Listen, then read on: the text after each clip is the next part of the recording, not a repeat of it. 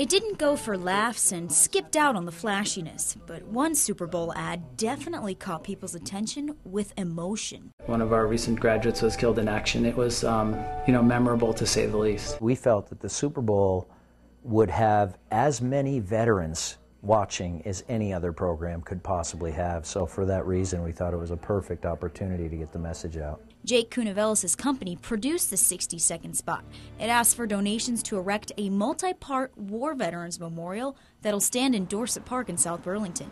This project in particular has a special meaning for him. I'm connected to it because I lost my half brother in Vietnam when I was eight, and that affected our family uh, greatly.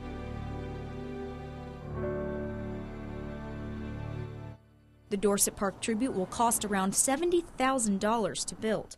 While the city won't be funding it, they did have to sign off on a few things. The city formally approved uh, two or three years ago the use of part, um, a designated part of Dorset Park for this purpose. City Council Chair Sandy Dooley anticipates this tribute will be used for ceremonies like Memorial Day.